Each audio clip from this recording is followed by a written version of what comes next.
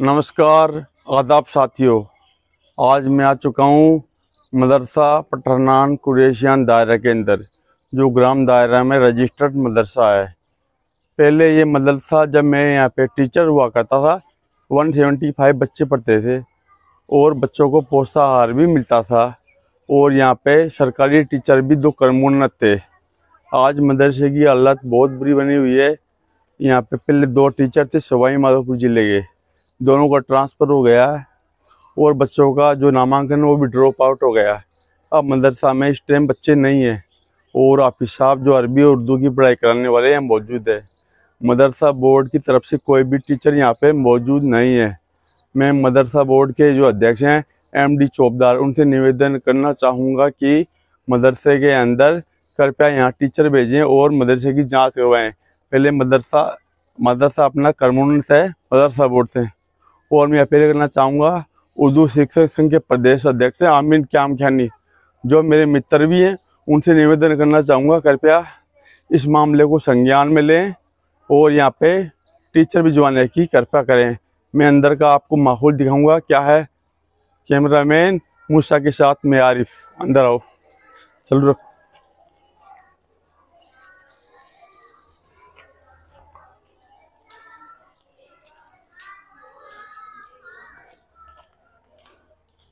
जब मैं यहाँ पे टीचर था, तब यहाँ पे ये किचन थी हमारी।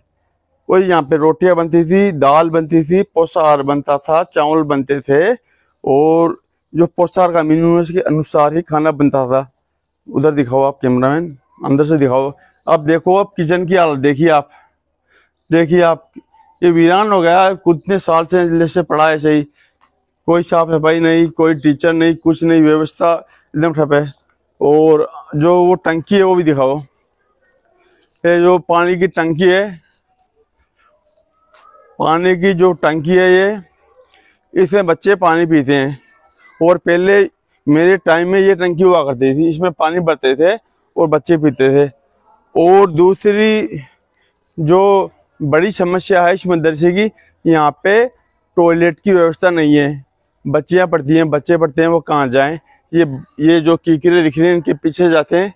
और यहाँ पे टॉयलेट, बात, टॉयलेट भी ज़रूर होना चाहिए। और मैं आपको ले चलता हूँ। अंदर जहाँ हाफिज साहब बच्चों को अरबी पढ़ा रहे हैं। आइए मेरे साथ।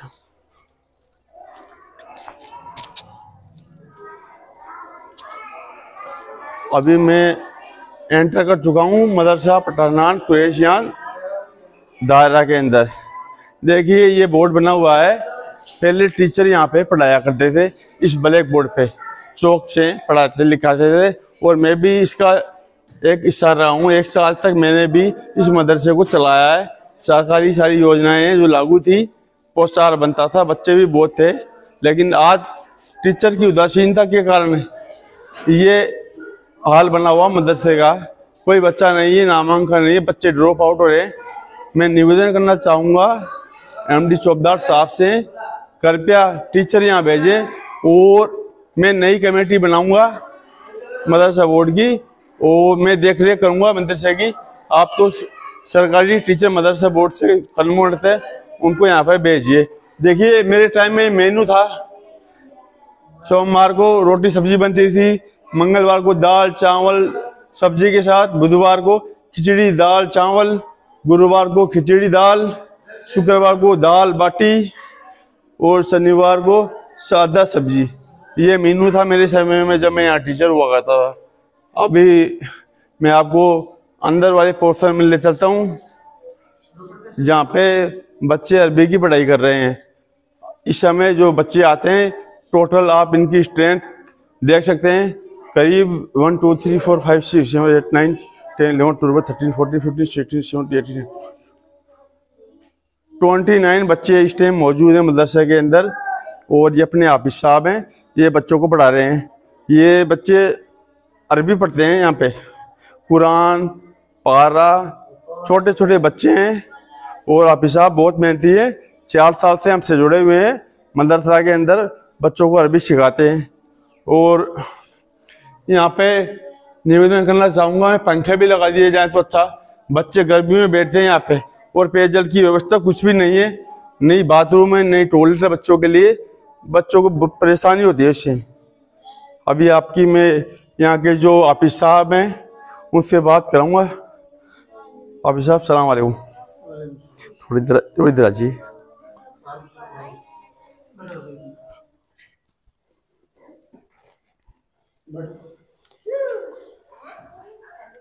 सलाम वालेकुम। ऑफ़िस साहब आपका नाम क्या है? मेरा नाम मोहम्मद रिजवान है। ऑफ़िस साहब कितने सालों से आप दायरा के अंदर सेवाएँ दे रहे हैं? मैं चार साल से मदरसे के दायरे के अंदर खिदमत अंजाम दे रहा हूँ। और सर यहाँ पे जो बोला जाता है कि मदरसों के अंदर हिंदी इंग्लिश उर्दू नहीं पढ़ाई जाती जो टीचर ही नहीं है आप तो अरबी के इल्म तालीब अरबी पढ़ा सकते हैं। तो यहाँ पे हिंदी इंग्लिश और मैथ का टीचर भी होना चाहिए ना? हाँ होना चाहिए यहाँ पे। और बहुत पुराना ये मदरसा है। सदियों पुराना मदरसा है और मदरसे की इसकी एक तारीख है कि कभी ये ज़माना था कि लोग बाहर तक वहाँ पर बैठ करके बाहर तक पढ़ते थे। लेकिन आज हालत ये है कि ये बीस बच्चे पच्चीस बच्चे यहाँ पर इनको हम कुरान करीम की तालीम दे रहे हैं। एक दो टीचर आए थे और आने के बाद में वो बच्चों पर कोई तवज्जो न दी बच्चे दूसरे स्कूलों में कभी जा रहे हैं, कभी नहीं जा रहे हैं कुछ ने पढ़ना छोड़ दिया है। तो ये मदरसा बिल्कुल वीरान हो गया है।